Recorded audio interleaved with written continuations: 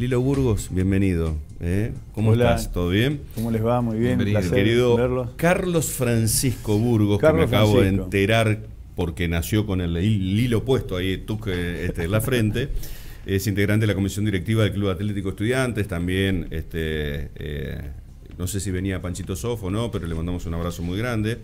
Eh, y como representante, hombre formador de toda la vida del rugby, este, del club y de la institución, Lilo querido, esta tarde se le va a rendir un homenaje a un grande, un grande que no está, que se nos llevó el COVID, que ha sido jugador, que ha sido formador, que ha sido dirigente de la institución, que vivía dentro del club, eh, apoyando fuera de la cancha justamente a cada uno de los jugadores, con su enseñanza, con su modo afable de formar buenas personas fuera del estadio, de marcar un marco, de darle un marco de contención y charla a los chicos, ¿eh? porque le, atrapaba hablar, de saber cómo estabas, de darte consejos, recomendaciones. Estamos hablando del querido Julio Monito Ledesma, ¿sí? Eterno formador de buenas personas por medio del rugby. Y hoy ustedes le hacen un homenaje. Hoy le hacemos un homenaje eh, que en realidad, eh, tal vez como en un contrasentido, nosotros Hoy vamos a festejar en realidad no el hecho de la muerte, sino el hecho de la vida que nos entregó dentro del club, todo lo que hizo por el rugby del club.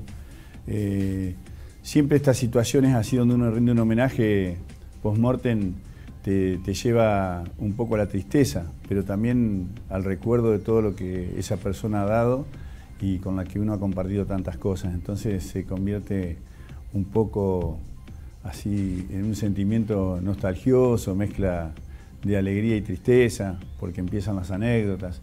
Y eso es lo que realmente, lo que realmente queremos rescatar hoy, porque como dijiste vos recién Horacio, es un, enorme este, referente del rugby Donde vas al resto del país, la referencia era Julito Ledesma. Sí, sí, Más allá del Diario 1, que le mando un abrazo al Pichi también, que tuvo los últimos años también este, oficiando de ahí de RRPP este, y de, Eterno Trabajador del IAFAS, etcétera, etcétera, donde pasó, vos ibas a cualquier provincia y me preguntaban por el monito Ledesma.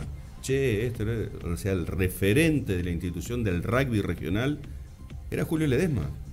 Sí, nosotros tuvimos, en la historia del club, tuvimos una, una trayectoria, digamos, a nivel nacional bastante importante en distintas épocas, ¿no?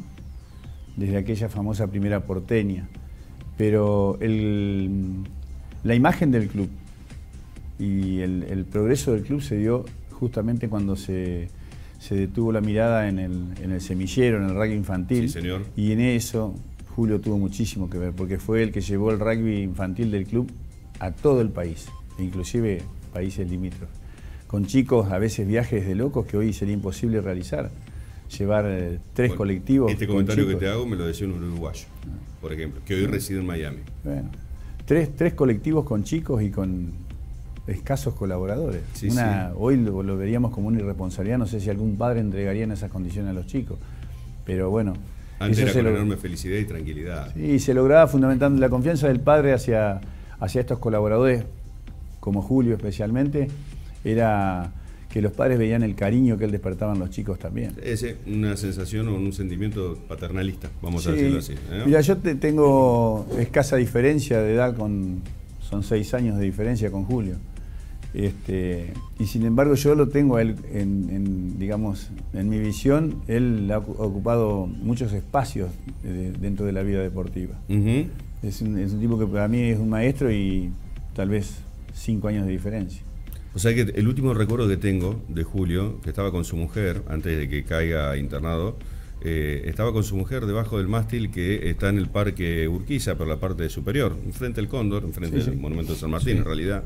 Estaba en ese mástil que estaba a mano derecha. Estábamos caminando con mi mujer, él estaba sentado tomando mate con su mujer, tranquila, otra vez, hola monito, hola maestro.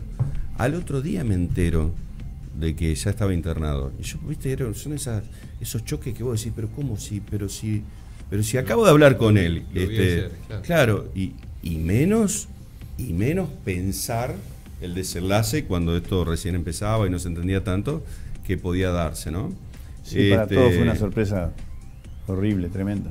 Tremendo, tremendo. Él tenía algunos problemitas. Sí, él estaba un poco delicado, complicado y bueno, esto realmente lo agarró sin lo, Lo tomó mal.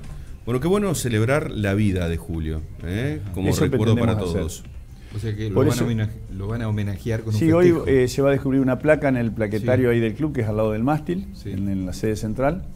Este, eh, van a hablar eh, en la parte formal, digamos, la gente, el presidente del club y el presidente de la subcomisión de rugby. Y después nos trasladamos al pub de rugby, que es ahí arriba en la entrada este, donde el micrófono va a estar abierto porque seguramente va a haber una cantidad de gente. Todos van a querer homenajear. Van a querer homenajearlo, llevarles cosas. Y la idea es. ¿La familia va a estar? Sí, sí, sí, sí, sí, Ya se comprometió Nacho y Silvia, La, mujer de Julio, este, en concurrir. Eh, Sabina no, porque está. Ok, está fuera. Este, me encanta. Me encanta que celebren las enseñanzas, más allá de las personas que estén o no estén, porque es lo que queda en el legado de los que vienen, en, la vida misma. Mira, cuando esto surge desde el ámbito deportivo, a veces uno ve distintas tonalidades del, paisaje, digamos. Porque, porque levantar una copa, festejar un triunfo, festejar un logro de Era lo que personal, él quería. Eso, eh, el deporte te lleva en sí por esa, ese, digamos, esa mirada eh, competitiva que se tiene para el deporte. Sí. Pero Julio era tan altruista que él generalmente no estaba en esos lugares de la entrega de premios. Y sin embargo, él había sido seguramente el que había... El hacedor. Había logrado el camino para que se consigan esos premios. Entonces eso es, muy... Él siempre fue así, con ese perfil. Uno lo veía amable, yo me lo, recuerdo sonriendo siempre, y sin embargo con la seriedad y la responsabilidad. Esa es la mejor foto. Sí, Indudablemente. esa es la foto.